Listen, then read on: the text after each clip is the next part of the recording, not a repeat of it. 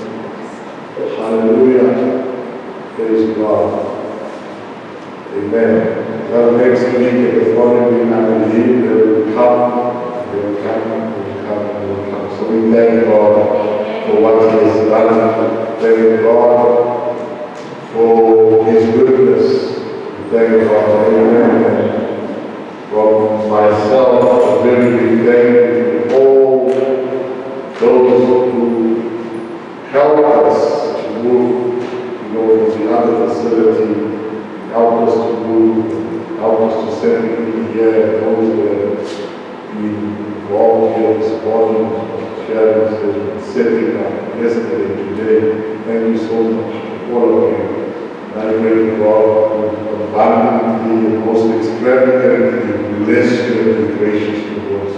Amen. Praise God. This is God's dream, and it is marvelous in our son. Amen. Now, just a quick announcement, two announcements rather.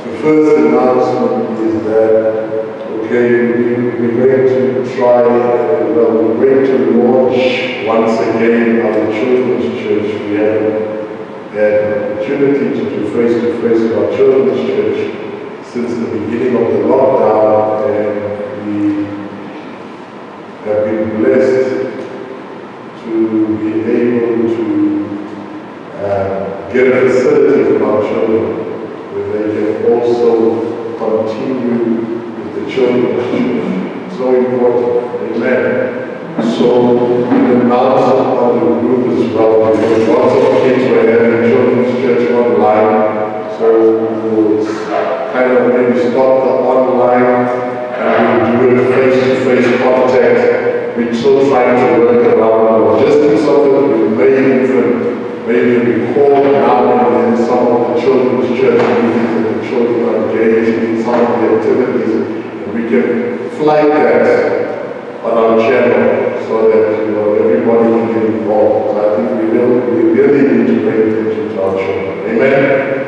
And we thank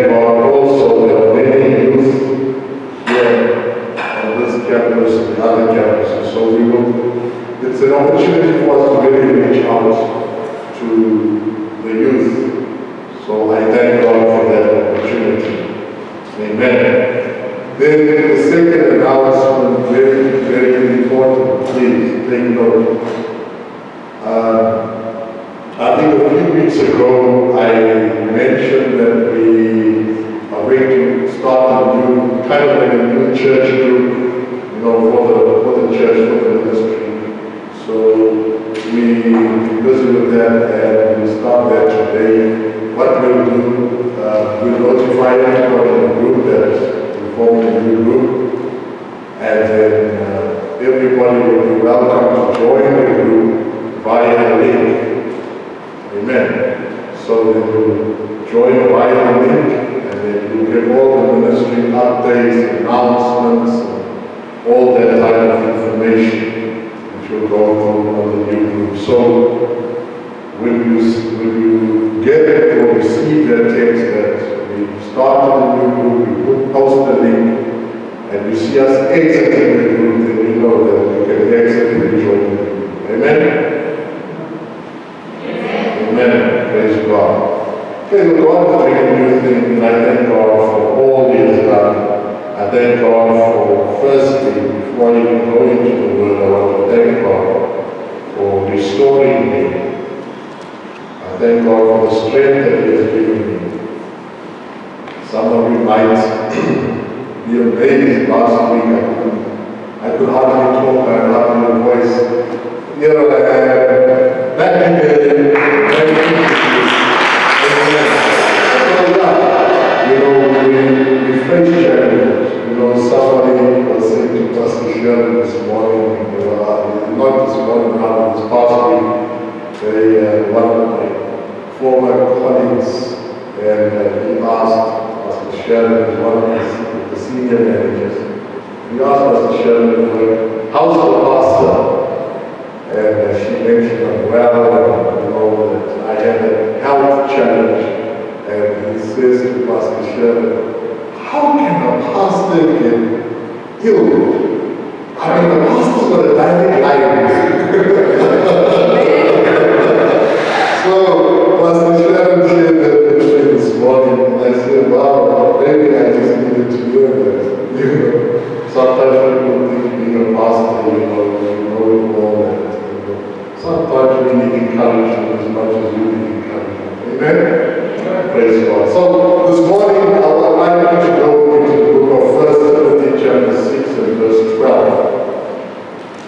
First Timothy chapter 6 and verse 12. And whilst you're going there, I want want to remind you of something very important is that we must understand that as believers, we are engaged in a battle, and it's the battle of faith. It's the battle of faith. You must understand that we are a people of faith. We do not walk by what we see.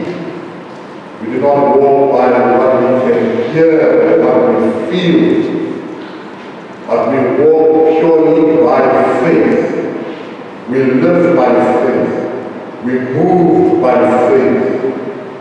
Everything about us is by faith. If you go to Hebrews, the book of Hebrews, chapter 11, the great hall of faith, you find the Bible continuously echoes those words by faith, by faith, by faith. So you must understand that you are an individual of faith. And this morning, I want to share with you along the lines of making a comeback. This is the title of my message, is the word encouragement to somebody this morning. You know, as I was preparing the God speaking, I said, Lord, thank you, speak to me. He says, no, you're also speak to my people. Because somebody needs this word to make a comeback because God is still in control. Come on, somebody. God is still in control despite circumstances, despite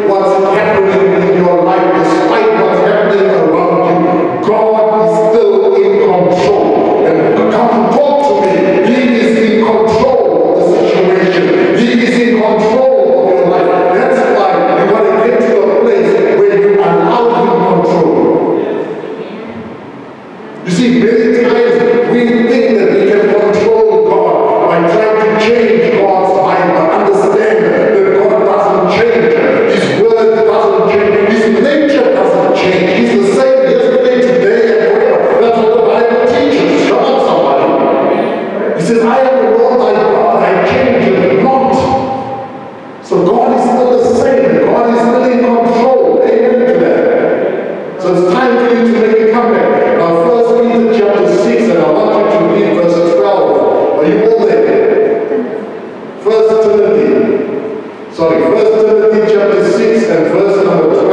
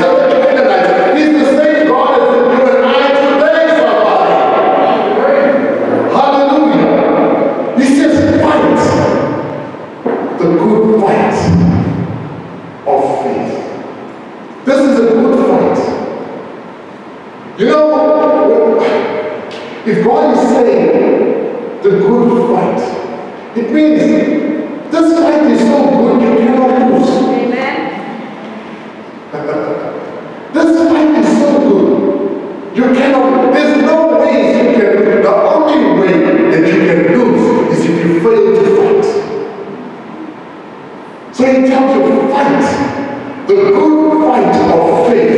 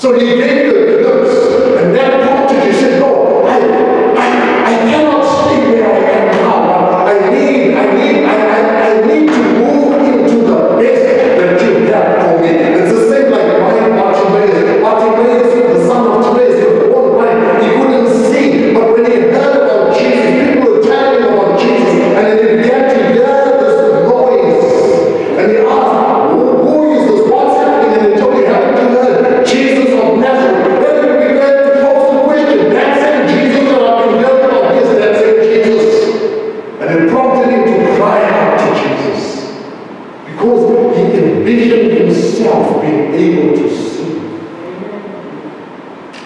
Likewise, you and I, we envision ourselves being able to accomplish what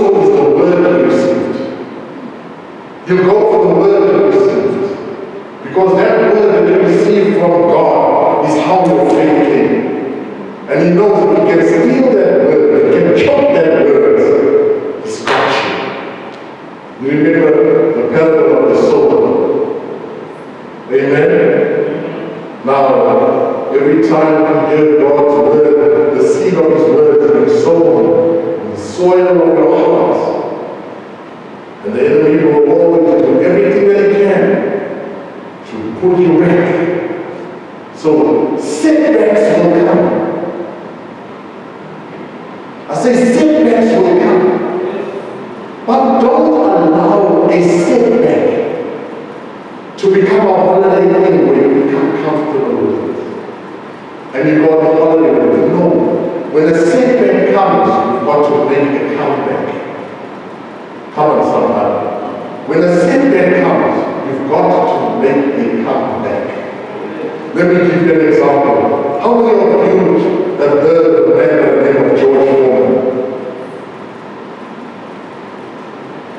Oh, wow. I, I guarantee if I spoke about WWE,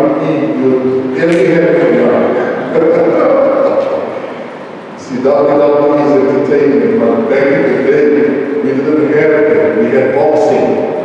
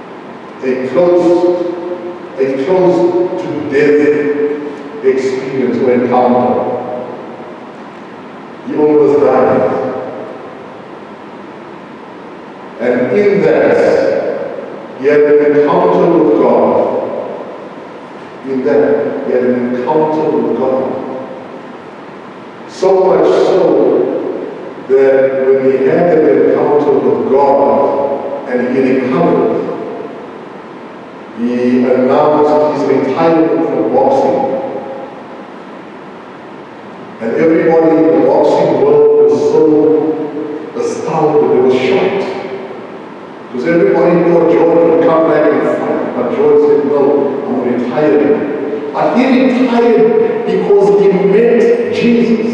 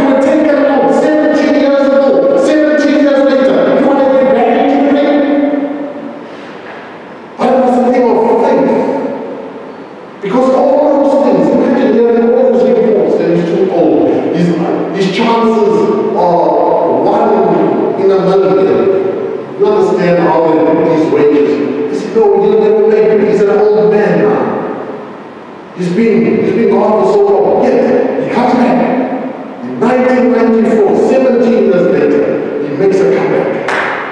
And he wins the title. And he goes down on the boxing history as the oldest boxer to win the title. Say amen to that. Hallelujah. He also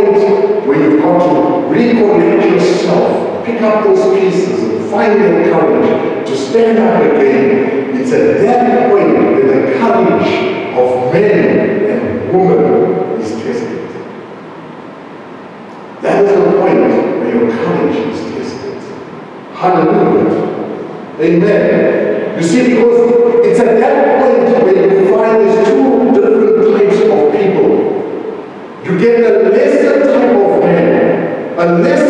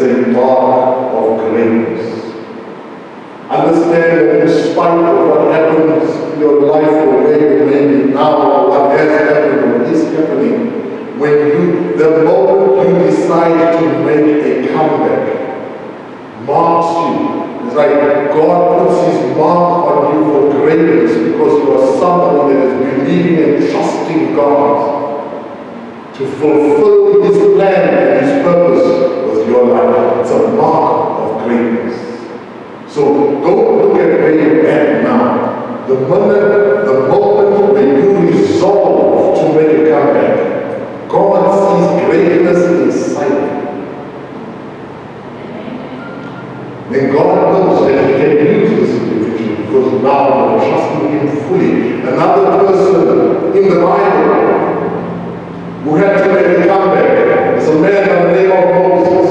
I'm sure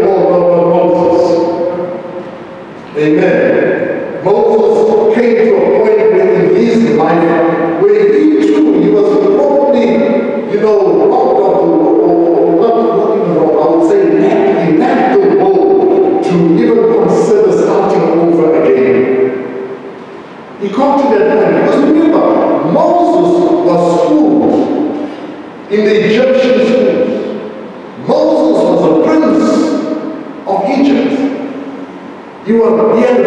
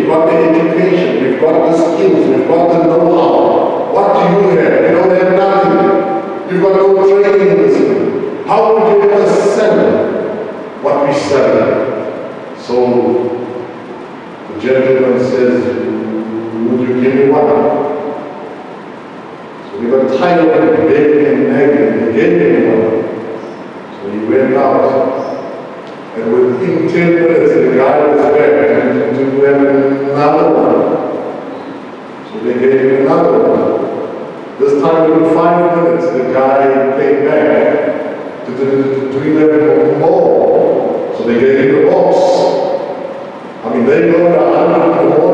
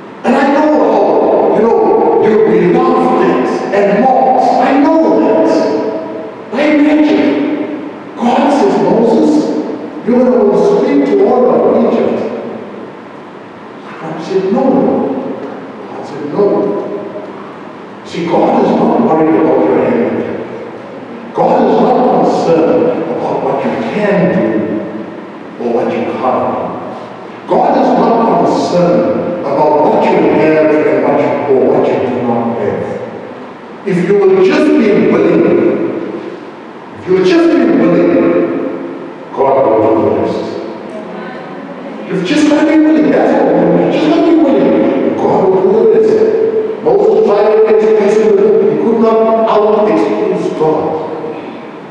Make a note of that. I can never out excuse God. Hallelujah. Amen.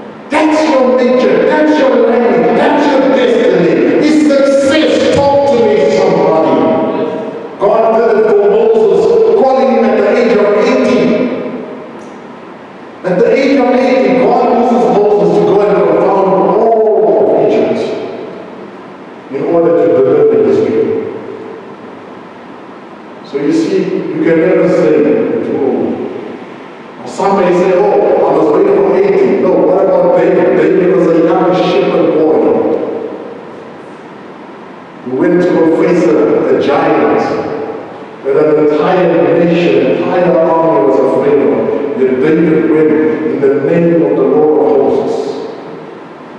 God was with him. God gave him the victory. Here to tell you, God is with you. God will give you the victory. Say amen to that. As a child of God, you do not be tired, you be fire. You see, time, what? You understand the use of words power of life and death in the tongue, use of words.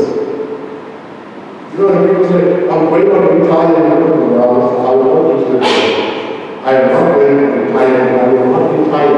I refuse to retire. Because what you say, when I say, what does it mean to rewrite? To rewrite. To rewrite means to write again. Not so? You rewrite what has been written before, but you write it again.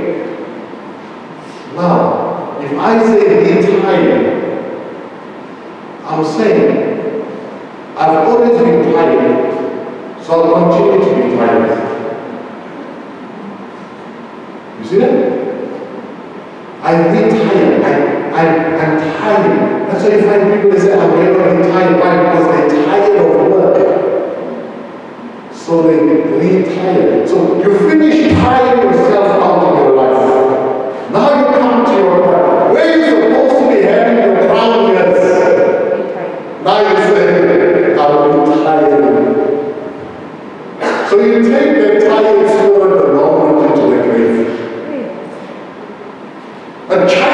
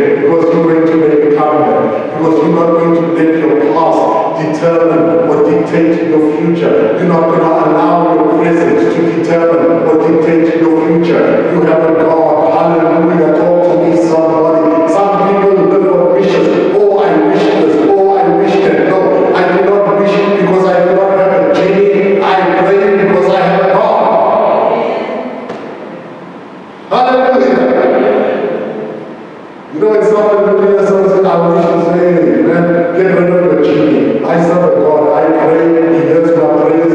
He comes through for me." Hallelujah.